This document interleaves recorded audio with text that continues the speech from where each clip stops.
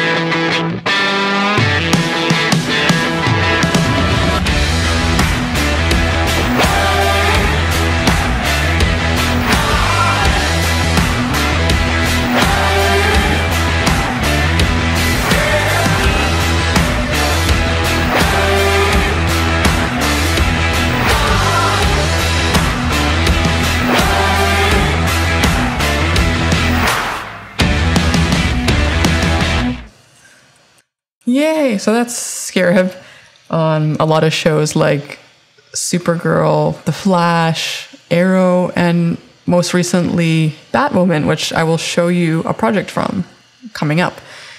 Uh, but first, I want to show you a project that I worked on, a little project called Sonic the Hedgehog. So I'll show you a clip from that film and explain a little bit afterwards.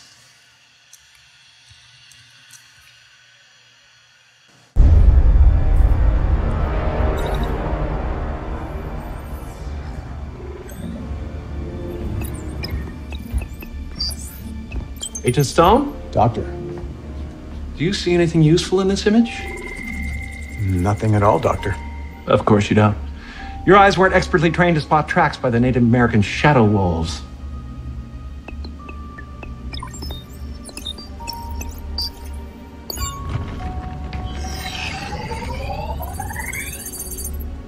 That's extraordinary. No.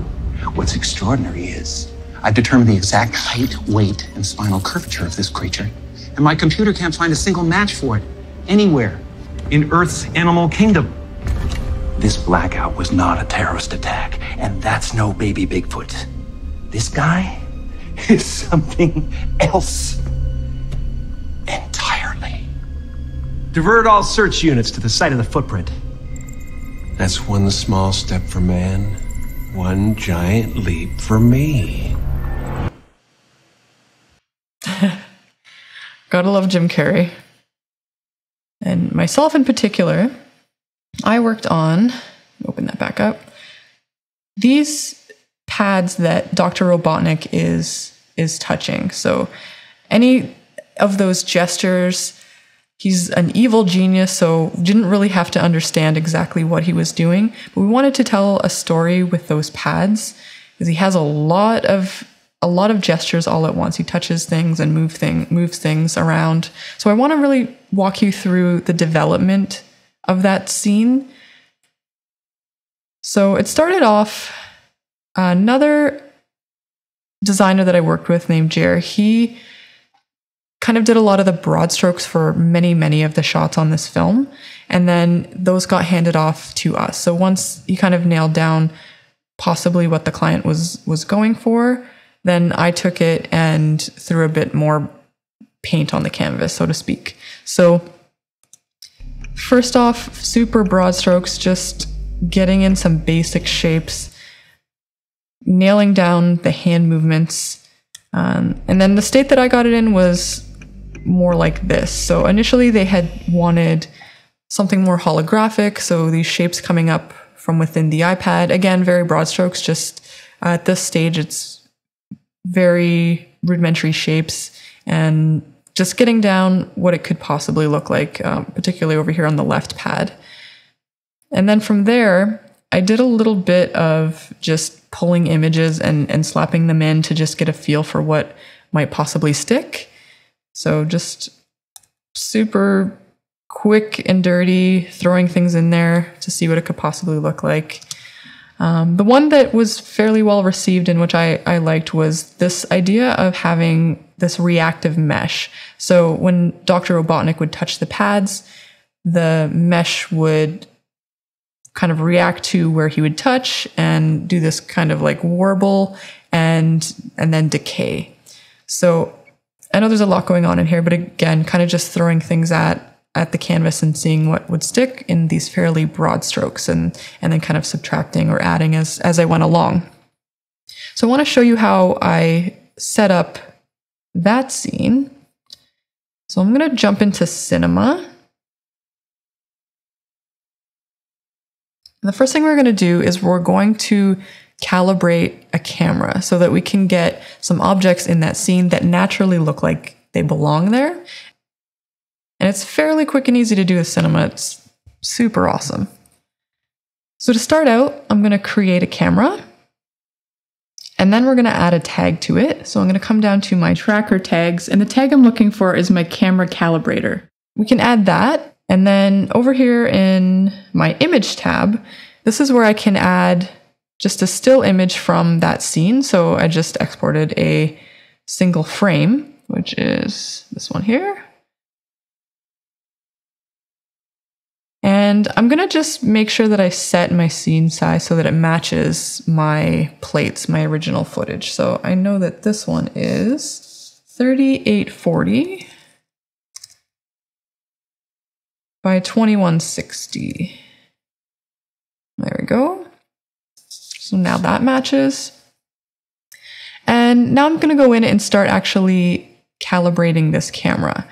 So to do this, what I want to do is I want to make sure that I'm in my calibrate tab down here in my attributes for this tag, for the camera calibrator tag.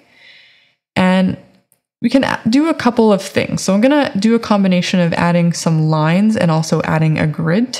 And as we do that, we'll notice that these little switches will turn from either from red to either yellow or green. And uh, we'll take a look at that as we go. So to start off, I'm going to add a line. So you can see that this line is now added to our scene.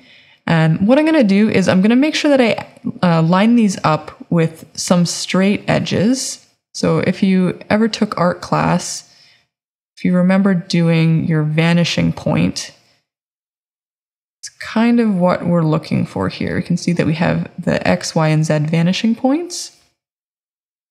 So when you have that lined up, uh, as you drag these points, uh, kind of like vertices, you'll get this little zoomed in box with this crosshatch on it. So that just really lets you zoom in and focus on the particular area. So when you have your line set up, in order to change the axis that that line is associated with, we want to shift and click on that line. So right now I've turned it red, so that corresponds with my x axis. If I click it again, we'll go to y, and then again will be z. So the colors just correspond with whatever axis you're on. So for this one, I want my x axis, so I'm going to turn that back to red. And I'll add a second line, and I'm going to do the same thing down here for the front edge of the desk. I'm not going to worry too much about the vanishing point for the rest of this shot because we're really just, we want to calibrate the front here for these two pads. So I'll go in, line this up with the edge, line it up with this edge. And then again, shift click to turn it red. Uh, you can see that this shot was done in a fairly wide angle lens. So it's not going to line up perfectly with the front edge here. Uh, so right now we're seeing that the, the X vanishing point is partially solved. So yellow is kind of like a best guess. We'll add a couple more lines and we should see some more of these uh, becoming active. So I'm to go in and, and change this line, um, add this line and change it to be my Z axis. So I'm to line it up with this part of the desk. I could also have done this part, but this part will work fine. There we go. And then I'm going to shift click to turn that blue.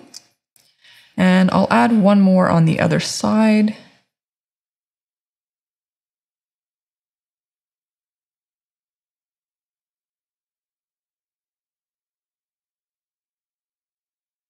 And you can always go in if you're not getting the perfect result, you might just need to go in and readjust those lines afterward. There we go. So now we can see that it has solved for my camera focal length and camera orientation. And it's done a its best guess to, to guess the vanishing points. I'm going to add one more vertical line. Just going to use this edge here. So obviously this works really well if you have some type of straight line lines or edges. If you're doing an image that doesn't have those, then it, obviously it's going to be super hard to find to solve for these. So I'll just shift click again and I'll turn that one green for my y axis. So we still have a bit of uncertainty here. Uh, something else that we can do is add this grid. So I'm going to click in and add this grid and I'm going to line this up directly with the edges of these pads.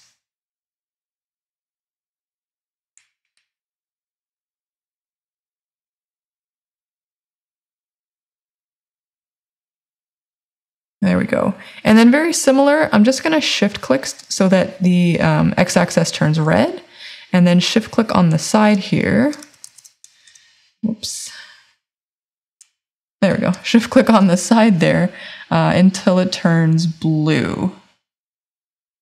So it's still uh, a little uncertain in my X and Y axis. I'm just going to make sure that I have this lined up exactly. There we go. So just had to make a little adjustment to make sure that this was exactly in line. And now we have all green buttons, which is what I'd like to see.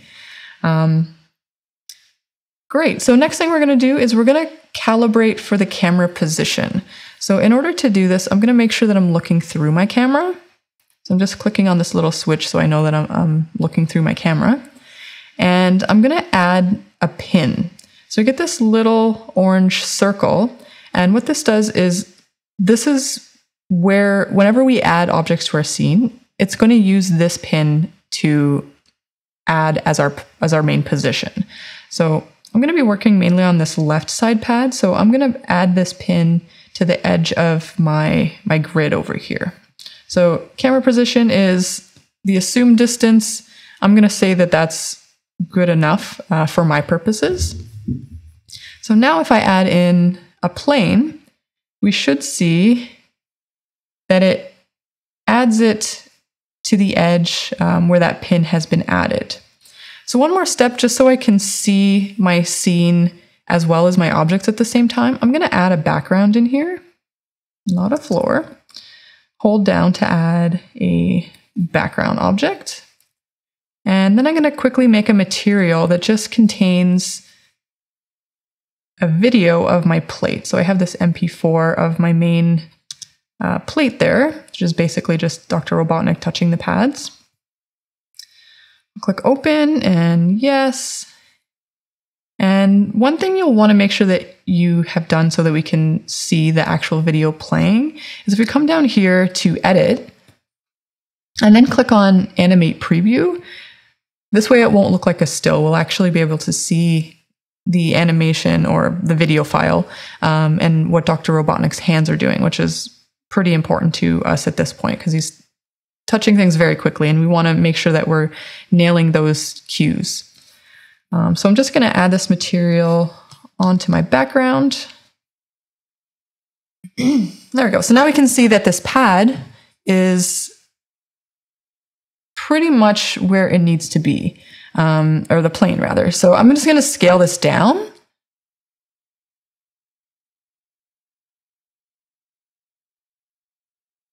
And just move it into place.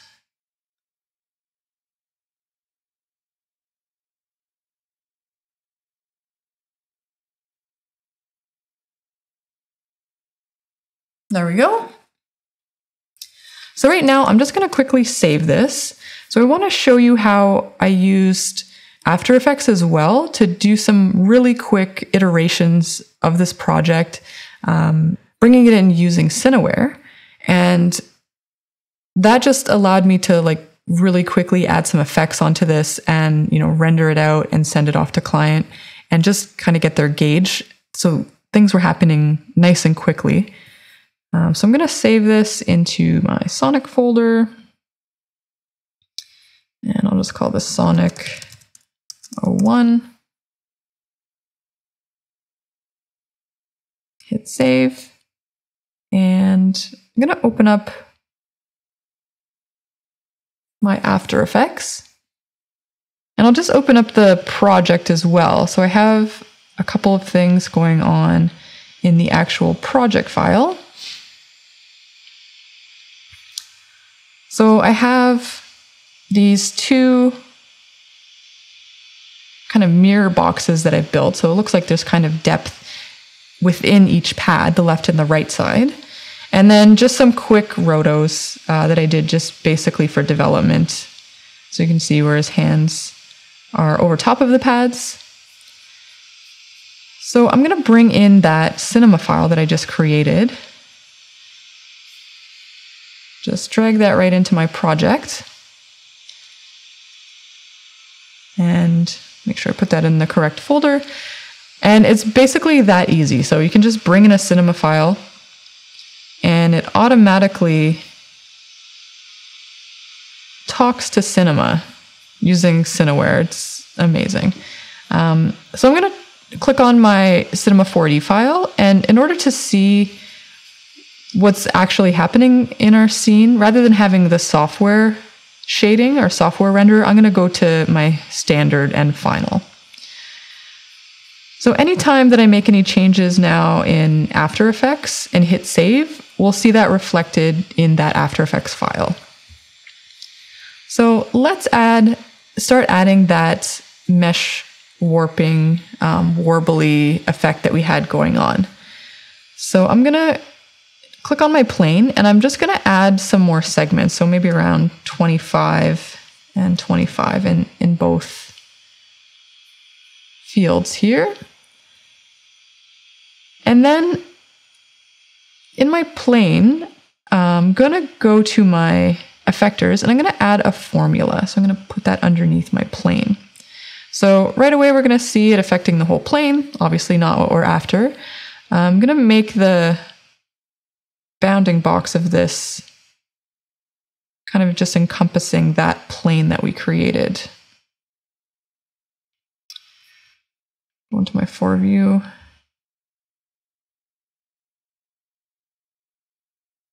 Drag that over.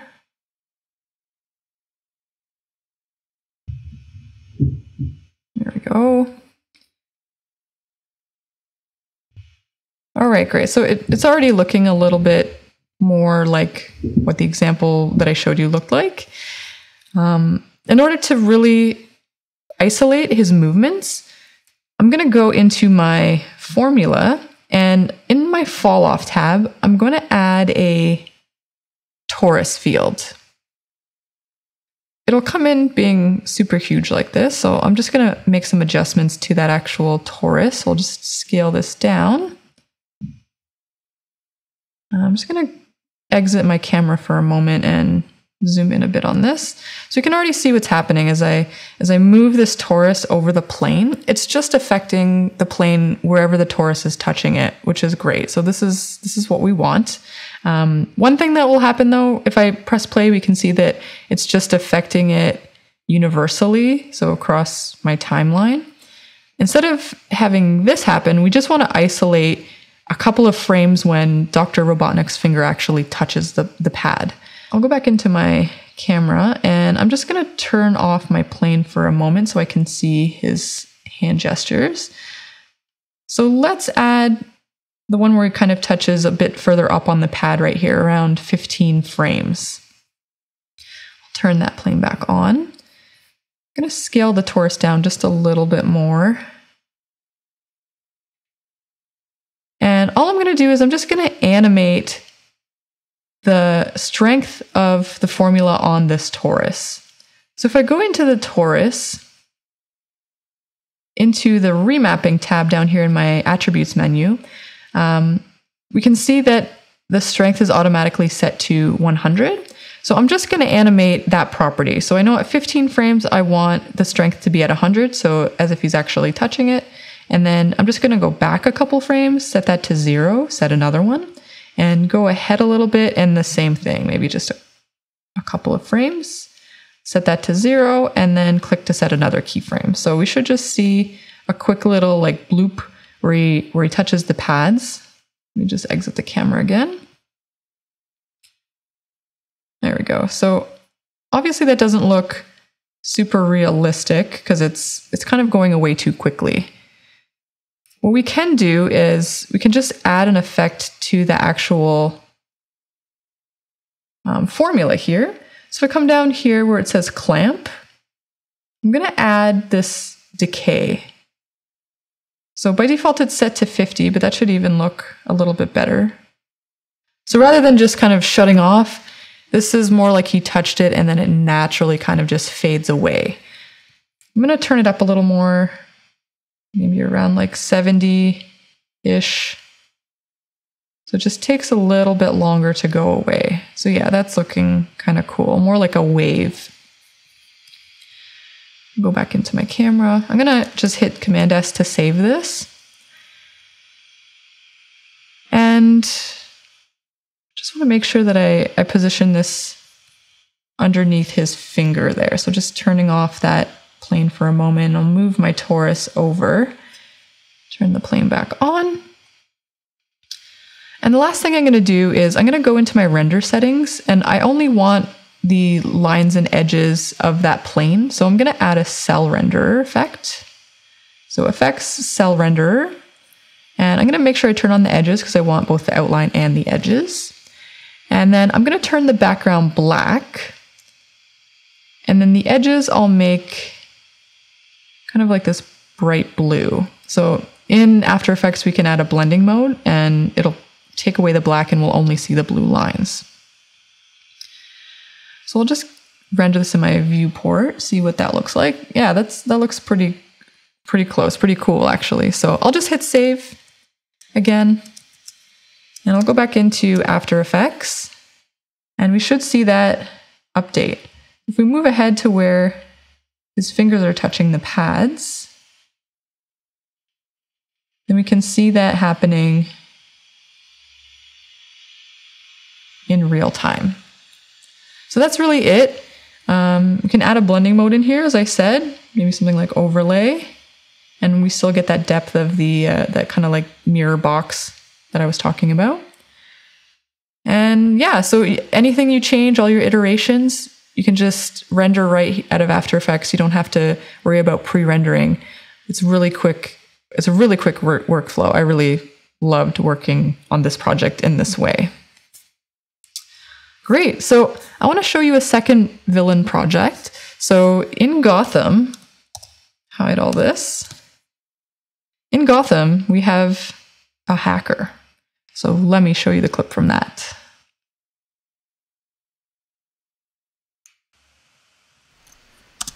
It intercepts and jumbles traffic as it passes over a digital network. The hacker probably used it to hijack the train's brakes remotely.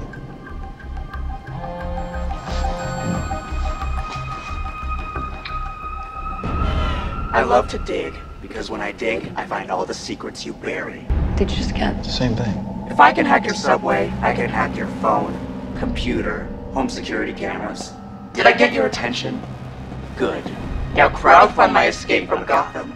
Click the link and help me raise $5 million by midnight on Friday, where your secrets come out. Doesn't matter if you're a porn addict, mass vigilante, or everyday Joe Schmo. Pay up, Gotham.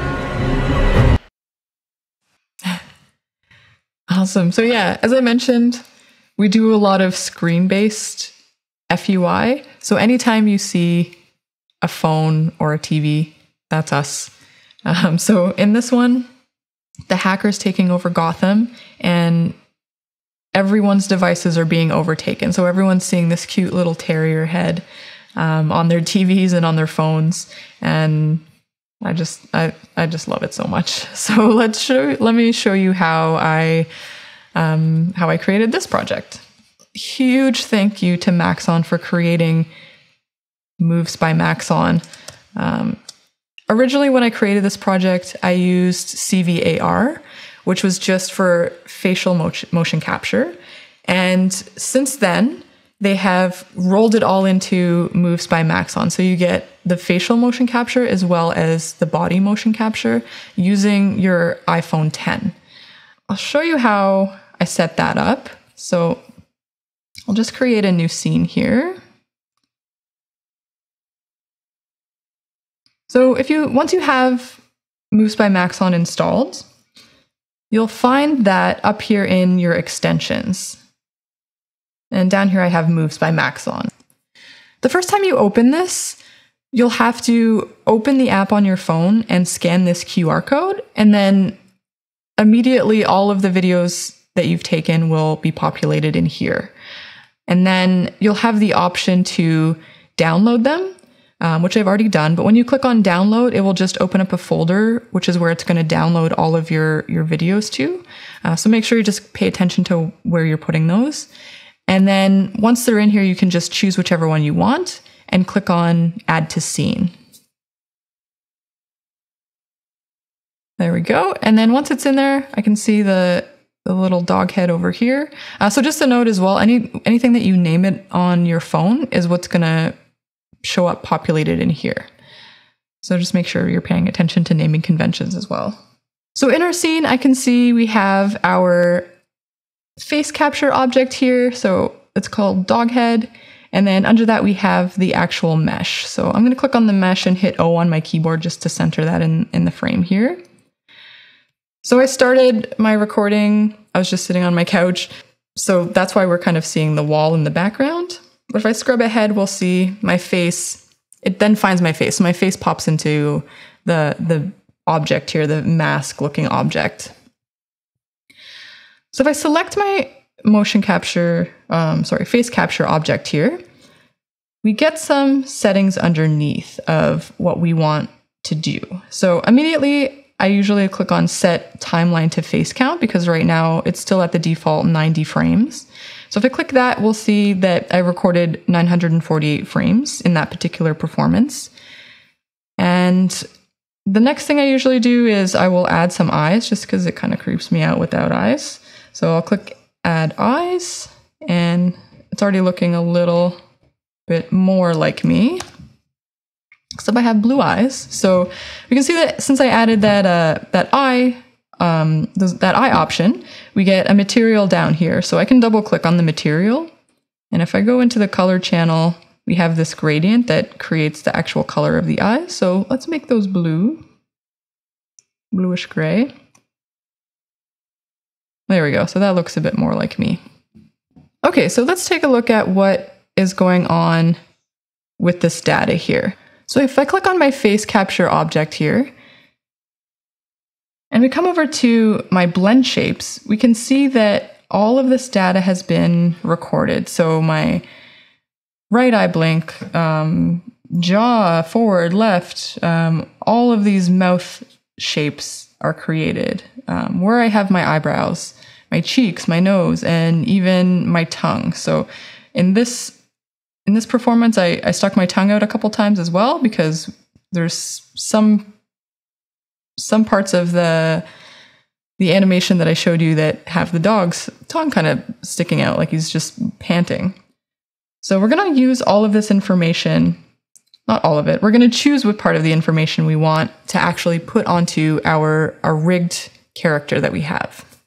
So let's bring in that character. I'm just going to come up to File and Merge Project, and then find my dog rig here and bring that in. As you can see, this um, terrier character came in super, super small. So one thing you want to make sure that you do is you want to have a similar size between both objects. Uh, in particular, you want to scale your character object up to match your performance. It's just going to make things look more correct and match up um, when you actually use the data between the two. So I'm going to just collapse this. Yeah, so I'll grab the main null here and I'm going to make sure that I'm in object mode because otherwise it's going to scale up parts of this thing all wonky and I don't want that. So make sure you're in object mode, otherwise it'll look like it exploded. Um, I'm going to choose my scale tool and I'll just scale this terrier way up. And let's see. Maybe a little bit more. Just so it's kind of similar. There we go. So now I'm just going to move it over so it's beside my face. There we go. Okay, so we have the two objects in here. I have this rig, so we have all of these controls, um, each of the eyes, even these little hair pieces if I wanted to move those, uh, which for this I don't. Um, the jaw, so if I want to rotate the jaw open, all of these controls are already pre-rigged. So you'll have to have a character that's already rigged or you'll have to rig it uh, and then bring it in. Now what we're going to do is we're going to do a do a set driven set driver and use some nodes and connect how these two are communicating. Um, so first thing I'm going to do, I'm going to put a pose morph tag on my dog object. So if I come up to tags and go to rigging and choose pose morph here, that adds a tag onto our main null. And in here, I want to tell it that I'm going to manipulate a couple of these properties. So position, scale, rotation, and hierarchy are what I want to enable. So if I click on one, it's going to automatically jump over to the other tag and just be like, hey, just so you're aware, um, we have these poses here. So we have a base pose, which is the resting face, and then it generates this pose zero. So this one we can make changes on. But first, I want to pop back into that basic tag and just make sure that I click on all of those uh, properties that I want it. And then I can click back over to my tag and and make these changes. So for the first one here, I'm going to double click to rename it. I'll just call this jaw. And then to add extra poses, um, we can just use this add pose button down here. So for this one, I'm to add a couple more. So I'll add blink. I will add tongue. And what else? jaw, blink, tongue, and eyebrows.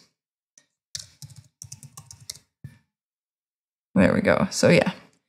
Um, but like I said, you can, if you wanted to animate the nose or the ears or the hair, whatever you wanted to, we saw all of those options that we had. So on these poses, what we want to do is we want to make sure that we set what is happening to them. So if I click on my jaw, now I don't I want to make sure that I go and find my jaw control and then I'm going to set it set the animation kind of at the maximum of where I want it. So I'll just rotate the jaw open. And if I go back to my pose morphs, now I can switch between my base pose and my jaw pose. And we can see that my jaw is opening how I want it to. And we're just going to do the same for the other one. So if I come over to my blink, I'm going to find my eye controls here. And I'm just going to scale the eyes so they look like they're blinking. So you can do whatever you want for these. If you wanted, when I blink for one of my eyes to kind of shoot off to the right, you can do that. I don't know why you would, but it's an option. So for these, I'm just going to scale them. Again, if I go back to my pose morph tag, I can see what's happening between those. And then I'll do the eyebrows next. Find my eyebrows. So I'm just going to shift click both of these and move them up and maybe rotate them individually.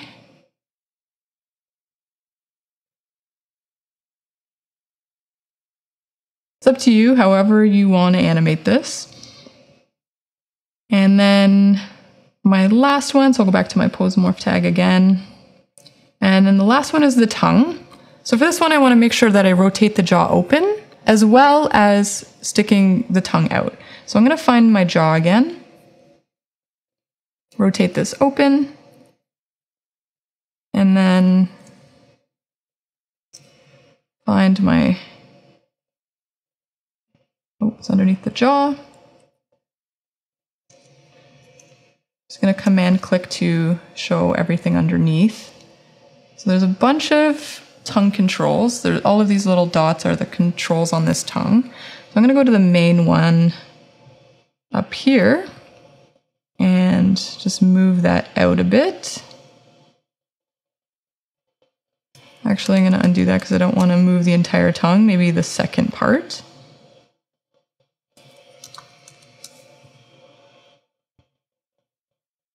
Maybe just this part. Just kind of like stretch it out and rotate it down a little bit. And then I'll go kind of closer to the end and rotate that down a bit.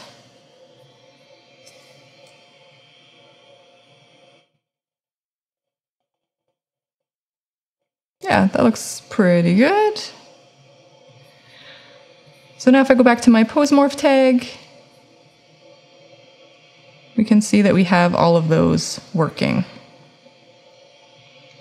Awesome. Okay, so now what we want to do is we want to do a set driver set driven. So we're going to take the data from our face capture object and then use it to drive this animation. So in order to do that, I'm just going to collapse all of this. I'll go back into my blend shapes and then I'll choose the jaw open first. So I'm going to right click on this. I'm going to come up to expressions and then I'm going to do a set driver. And then I'm going to click on my pose morph tag and I have to make sure that I click on animate. So now we can see all of our, our poses at once. And then this is where we're going to set our driven from. So if I right click on my jaw, and go back to expressions again and go to set driven. So now we can see if I scrub through that uh, the jaw is working. So we'll see the other ones also at maximum because um, we haven't set them yet.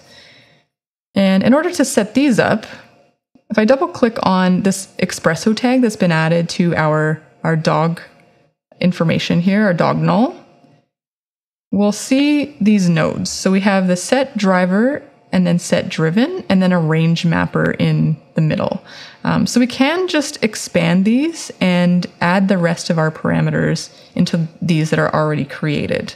So I'll just drag those out, and then from uh, from here we can just drag whatever items we want onto those no onto those uh, nodes. So for this, I'm just going to use one of the eyes to drive both of the eyes. So I can grab this left blink eye and I'm just going to drag it onto the edge here and we'll see that it, it populates in there. Um, so we want the eyes, we want the jaw we have already, uh, we want the eyebrows. I'll do brow up left. And then for the tongue, I'll drag that in.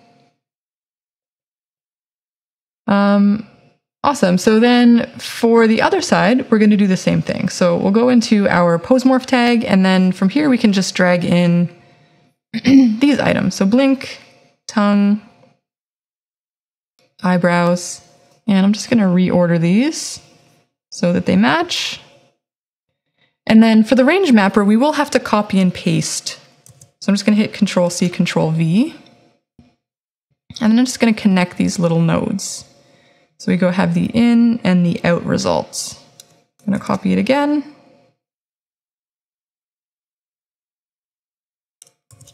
And once more.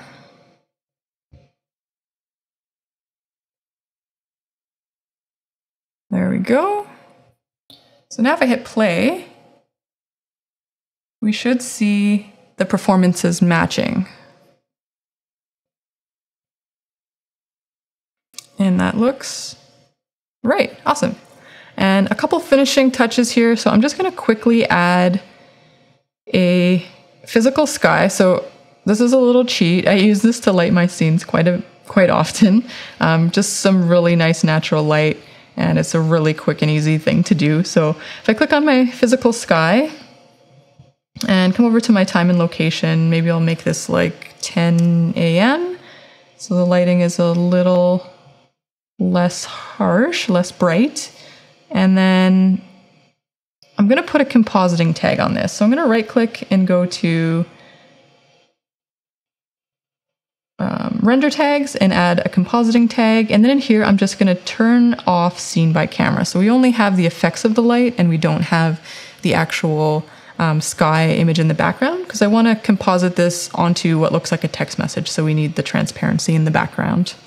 Um, and if, let's take a look at this. I think the shadows are probably a bit harsh.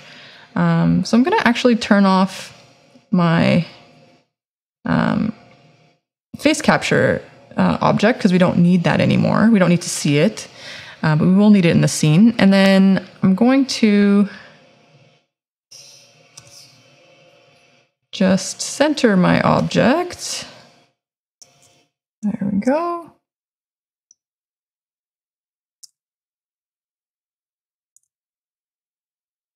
Center of my scene there. Okay, and last thing I'm going to do, I want to add some of this geometry uh, into a subdivi- uh, subdivision surface.